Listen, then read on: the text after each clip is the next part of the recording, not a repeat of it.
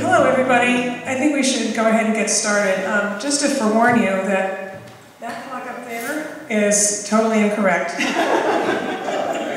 we have more time than we may have thought. So um, I would like to welcome you all to uh, Berkshire Agricultural Ventures inaugural speaker event. This is the very first event that we have organized on our own um, not in co-sponsorship with another organization, although we have had a number of really lovely co-sponsors to join us in supporting this event. And I want to recognize them right off the bat.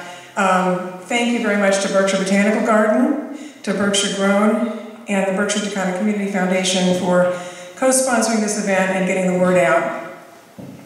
I'm Cynthia Pansing. I'm the Executive Director with Berkshire Agricultural Ventures. And for those of you who may not know, we are growing the regional food economy through financing and technical assistance to farms and food businesses. And our ultimate aim is to not only help increase farm and business viability in the food sector in the Berkshire Taconic region, but ultimately to help improve healthy food access and reduce food insecurity. So um, we also want to thank, give a big thanks to uh, Dewey Hall, as represented by Lynn in the back, um, who have really helped us all the way in organizing this event in this lovely space. We're thrilled to have our two speakers, Andy Fisher and Brian Donahue, today. Before I introduce them, I would like to tell you a little bit about some logistics that are important to know. First and foremost, the bathroom is right out in the, in the hall. There is just one. Um, also, we are videotaping this event today. I hope everybody's comfortable with that. Our reason for doing so is because there are a number of farmers, food businesses, other interested parties who just can't be here today.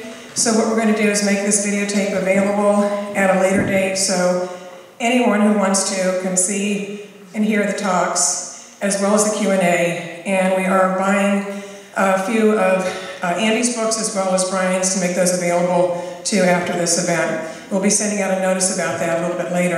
And thank you very much to Jeff, who on the spur of the moment is, has agreed to video this event.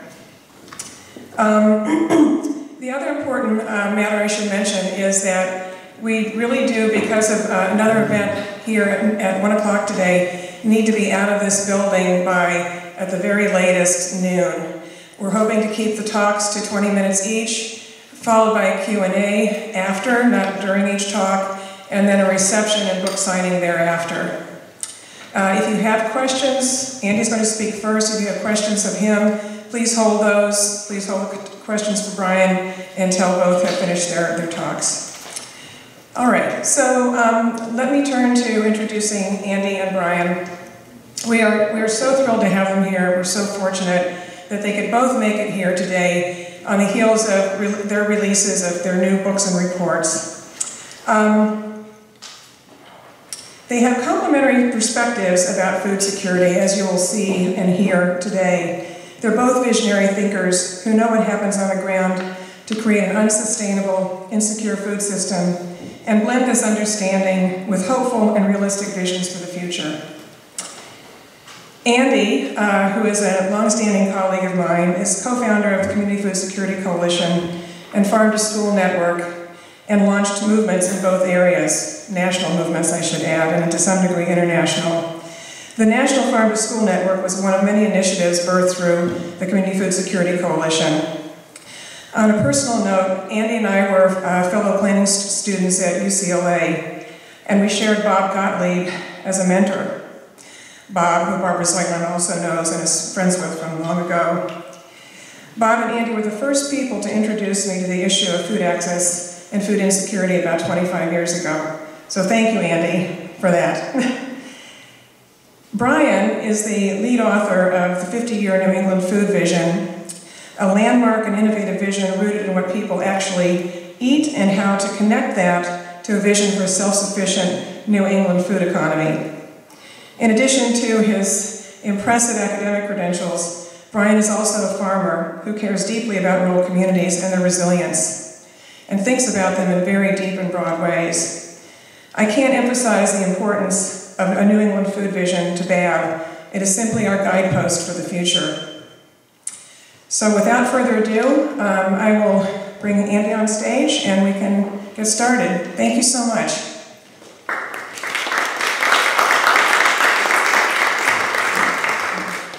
Thanks, Cynthia. Uh, I really appreciate the opportunity to be here.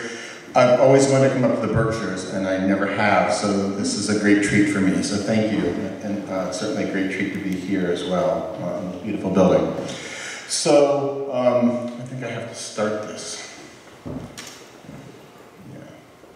So, um, just a little bit of background. As, as Cynthia said, I, I, ran and started and ran the Community Food Security Coalition, which was the main national alliance working on local food systems and anti and um, access to healthy food for about 17 years. I left that in 2011. And during that time period, I had been very active in trying to pull the anti-hunger community into uh, more of a focus on sustainability, more of a focus on where the food was coming from, and more of a focus on public health. And you know, I saw a lot of success. I saw a lot of food banks moving in that direction.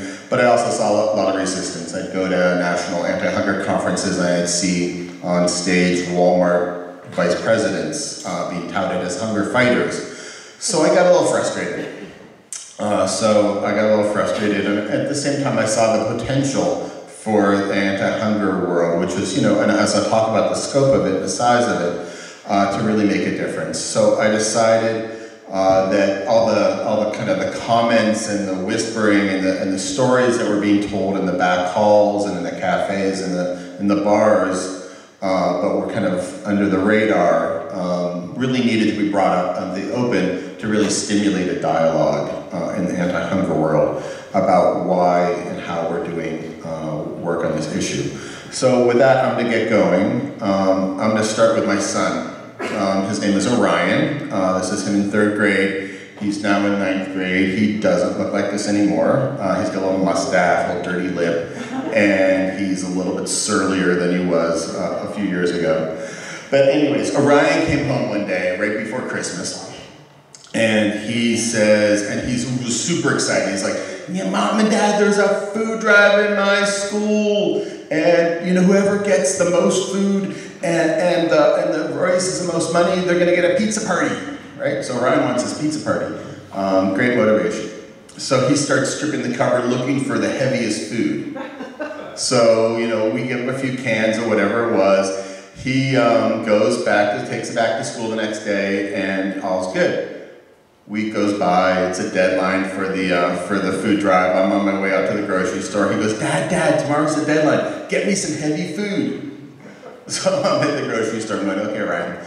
Um, I'm at the grocery store and I'm thinking, you know, what's the cost to pound ratio of food? You know, Pepsi's heavy and it's cheap. You know, do I get him a thing of Pepsi? Uh, I end up getting you know, a few cans of beans, but um, I guess before I get going, I should say that Orion's class did not win the prize for heaviest food. They did not get the pizza party for that, but on the other hand, there are some kids in this class, I think whose parents are fairly wealthy and probably wrote a big check. So they did win the prize for raising the most money. So happy ending, Orion got his, got his pizza party. Uh, so, but as I was at the grocery store shopping for Ryan, I realized that, you know, there's something that was really bugging me about this food drive and that it was a microcosm of what, what I felt was wrong with food banks and with emergency food system. And that's that they measure their success in terms of pounds and people. The heavier, the better. The more pounds they distribute, the more people they serve, the more they appear to be successful. And yet, that's, for, that's as far from the truth as possible. In some ways, it's really a sign of failure. Um, and we know that you know pounds distributed and people served are not outcomes. They're not. They don't measure the impact. They just measure what you do. Um, and that confusion cuts to the very core of the problems with, with food banking, is that food is the solution to hunger only in the most temporary and illusory of ways. It doesn't resolve the underlying problems uh, that lead people to be in that position in the first place. You know, nobody wakes up just, hungry, you know, with a capital H. There, there are other things that went on in their life before. Um, you know, if you're a, if you're a medical professional, you know that um, that you're uh, that just because somebody doesn't have a disease doesn't necessarily mean they're healthy. Or if you're a peacekeeper, you know that just because there's a ceasefire doesn't necessarily mean there's a peace. You have to address the underlying issues. So hunger is a symptom of poverty, and poverty itself is a symptom of many other things It's linked to powerlessness, it's linked to racism, it's linked to uh, poor education, it's linked to many other uh, systems that have gone bad, structural issues that have gone bad in our country. A box of free food is a poor substitute for political power. So, you know, the vision behind food charity is, is, is beautiful in its simplicity. You know, it gives hungry people food, and that simplicity is alluring, it's easily understood, and it's tangible. Uh, it also is ineffective. Um, because, of, because of its shortcomings, I, I would argue, um, food charity has been growing by leaps and bounds.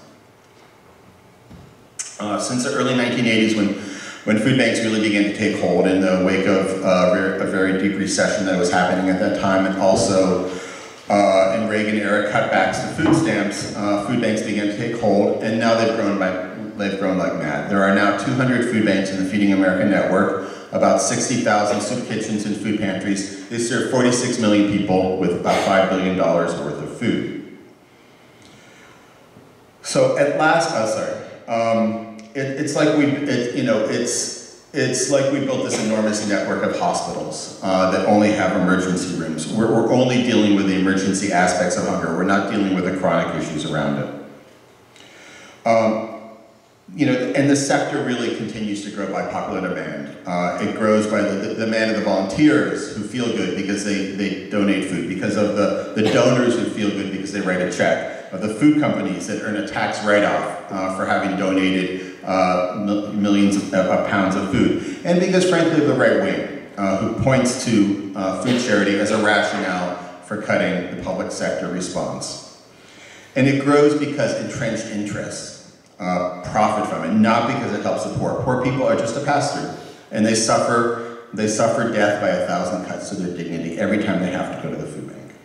So let me let me explain what I mean by that. In writing this book, I decided that I needed to volunteer at a food pantry.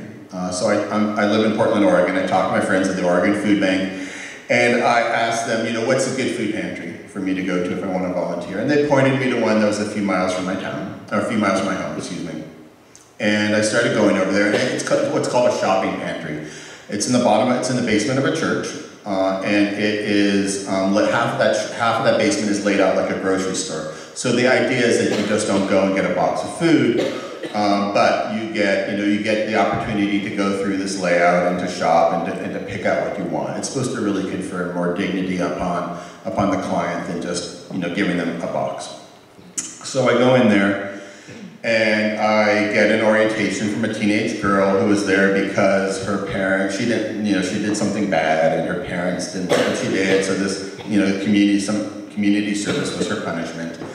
So she tells me that um, my role is to be a cross between a personal shopper, um, there to help people navigate this system, and I'm there also to be a security guard, to make sure that nobody takes too much food. So I got it. Got my instructions in my head. You know, they want to be fair, make sure that there's enough for everybody. So I'm, you know, I'm on my first day. I'm on my first shift. I'm about halfway through my shift, and uh, about two hours in, and I run into my next set of clients, which is this elderly African American couple. And I, they look tired. They look dejected. They've been sitting there for two hours waiting for their turn. Uh, so I grab a shopping cart, stick some boxes in the shopping cart, go over, introduce myself, ask them how many people in their household, uh, which I think was three. And I get them going, you know, and I start telling them, well, you know, you can pick a can of tuna, you can pick three cans of beans, you can pick six potatoes, some spaghetti, etc., etc., right? So as we're shopping, as we're going down the aisle, uh, they're figuring out what they want. I realize I'm hovering over their shopping cart. I'm watching what they're putting in their shopping cart because I've got these instructions in my head about being a security guard and making sure they don't take too much. And I go, this is just crazy. Why am I doing this? So, you know, let's give them some space. So I take a few steps back. And I realized I'm still watching what they're putting in their shopping cart. And at that point, I realized, you know, that I was being oppressive. I felt like, you know, I, in fact, I, I really felt like I was being racist. I felt like, you know, I'm a white middle class guy. I'm making sure that this elderly African American couple who are just trying to get some food to put, um, to, you know, to make it through the week. I'm making sure they don't take an extra potato or two. Uh, and it, it, it was a, it was a miserable experience. Uh, and it was an experience that replicated itself many times during my, my tenure there. Not so much in that way, but you know, I was constantly tussling with, with, with the donors, or with the clients, excuse me, over what they would put in there in the process. And I think there's an inherent oppression, there's an inherent power dynamic in the emergency food system.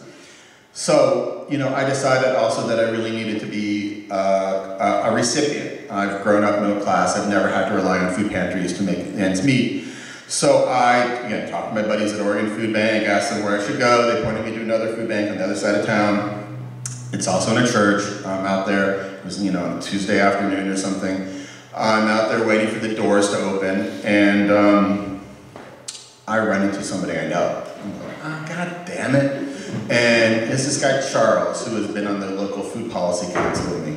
And I just didn't want Charles to blow my cover. You know, I didn't want him to go, hey, Andy, what are you doing here? You're writing a book, right? It's like, no, I didn't, I didn't want that. So I, I, told Charles, come over here, come on, come on, come on, come on, come over here. And I pulled him over to the side of the building. And before I could even open my mouth, Charles was like, hey, Andy, you know, it's okay. yeah, it, it, it's okay. You know, I, I ran out of food. I have to come here sometimes. And, you know, it's okay if you need it. Don't worry about it. Know, that was the last thing on my mind. I wasn't, you know, thinking about that, but he was trying to calm down the, what, he, what he felt was kind of a stigma of having to rely on the food pantry. And I think, you know, those examples just really point out that, you know, that it's not a system that is really sustainable or dignified. But it keeps growing. Um, it keeps growing and growing despite of that. Uh, and, you know, that, that would be one thing. That, that dignity would be a certain price to pay if it were effective. Uh, but it's not. Uh, even, you know, even food charity, even with SNAP, have not been effective in bringing down food insecurity in this country.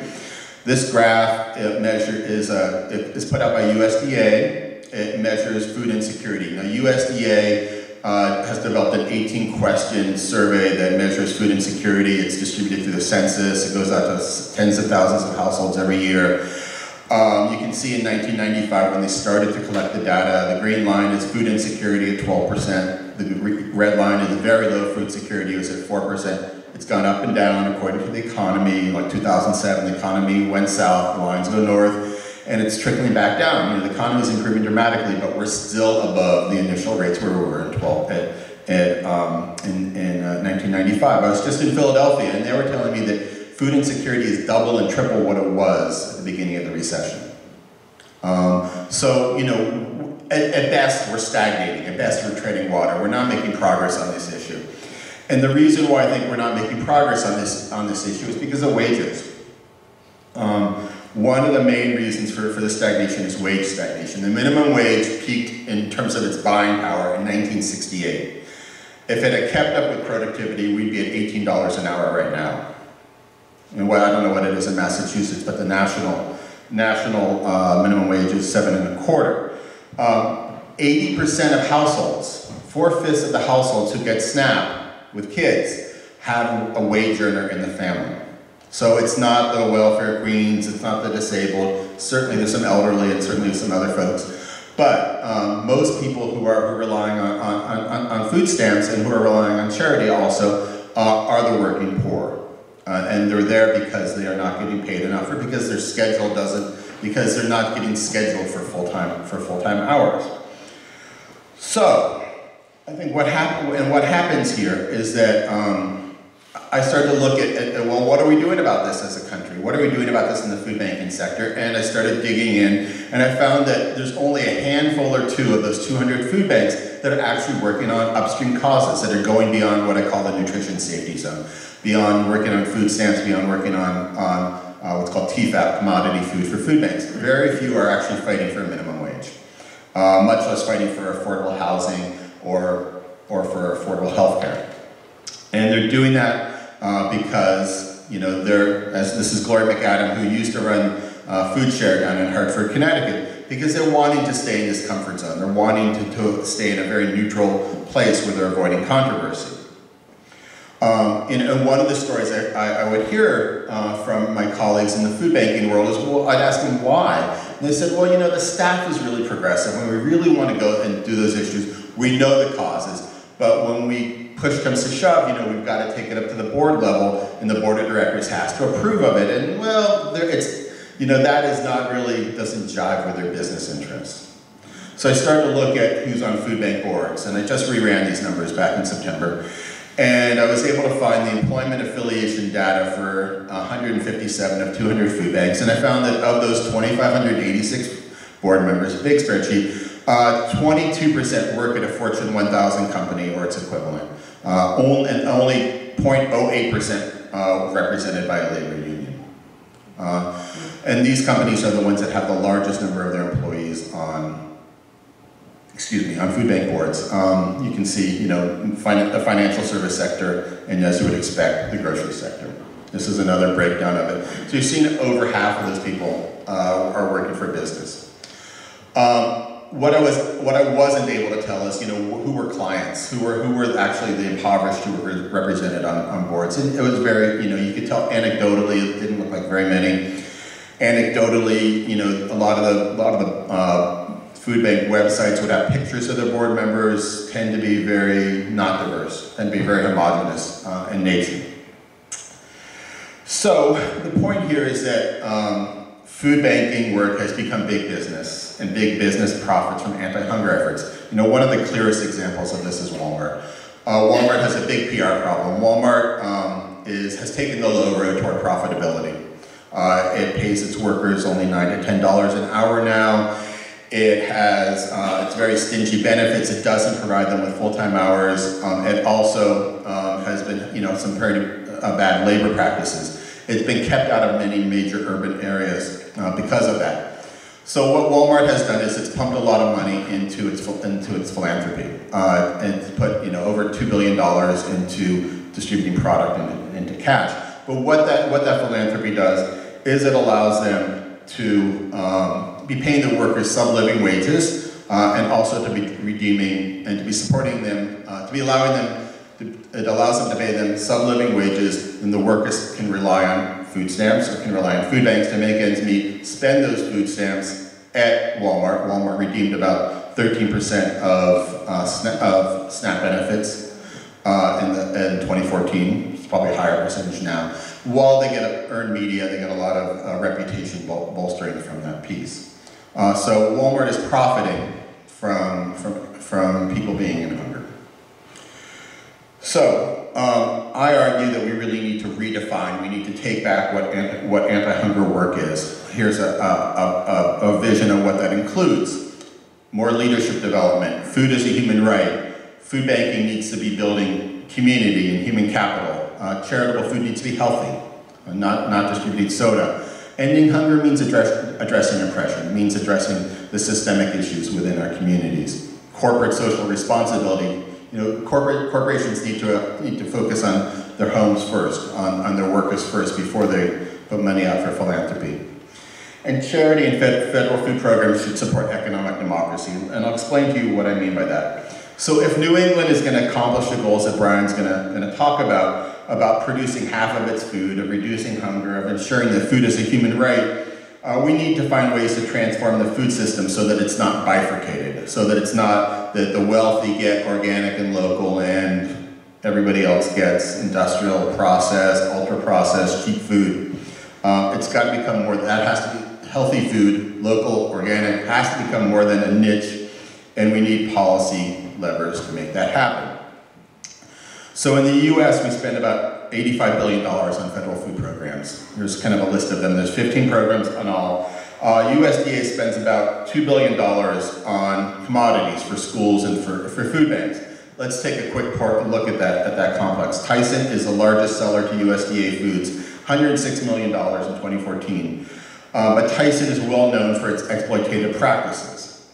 Um, it's been, it's been uh, bankrupting farmers who grow for it. Uh, all too often, all the, those farmers are, are, again, are driven into bankruptcy by Tyson's manipulative contracts. Uh, a gentleman named Chris Leonard wrote a great book called The Meat Racket. He found that in two-thirds of the counties where Tyson operates, mainly in the South, uh, where in two-thirds of those counties, uh, the per capita income is lower than the state average.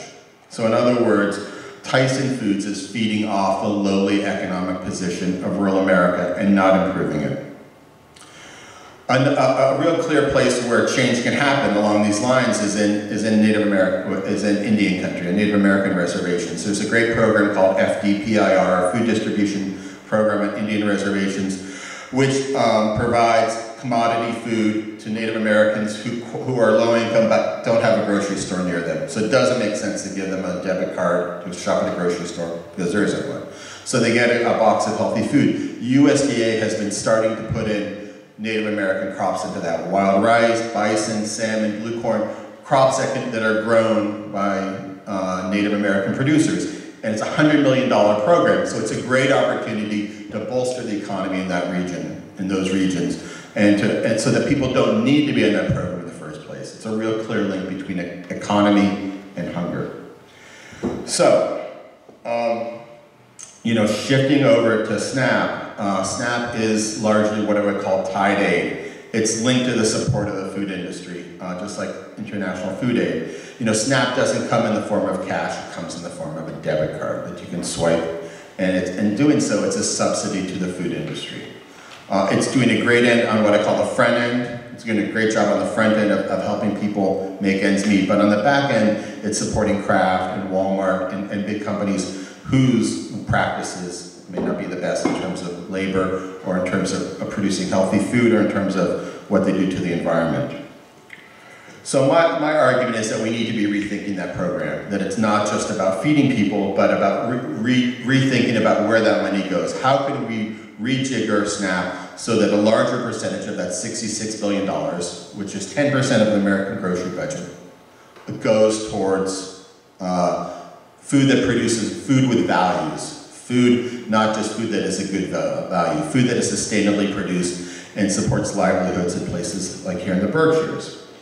Uh, so, you know, one, one example of that is something called the FINI program, the uh, Food Insecurity Nutrition Incentive Programs at USDA that Congress has passed that now provides only $20 million a year for, for what's called SNAP incentives. It's for people who, are, who have a SNAP card. They go to a farmer's market, uh, they swipe their card, they get $10 out, for example, buying fruits and vegetables, and they get another, they get free $10 to, to essentially make that, um, that food half cost. So we all know produce is expensive. It's a great opportunity to have that cost and encourage greater consumption. And the money's going into the pockets of local farmers.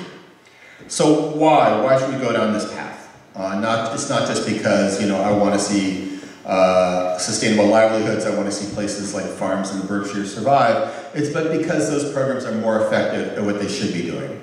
Uh, there's been research coming out of Harvard, coming out of the Federal Reserve Bank, uh, coming out of USDA that's showing that small and medium-sized businesses are more effective at reducing poverty, at increasing tax revenues, at protecting the environment, and in generating per capita income than big companies. So we, we used to think of economic development as smokestack chasing, as bringing in big companies. Now researchers are realizing that that's not so good, uh, especially for economically distressed rural areas. Focusing on the local economy and supporting locally owned businesses is much more effective than trying to bring in the big guys.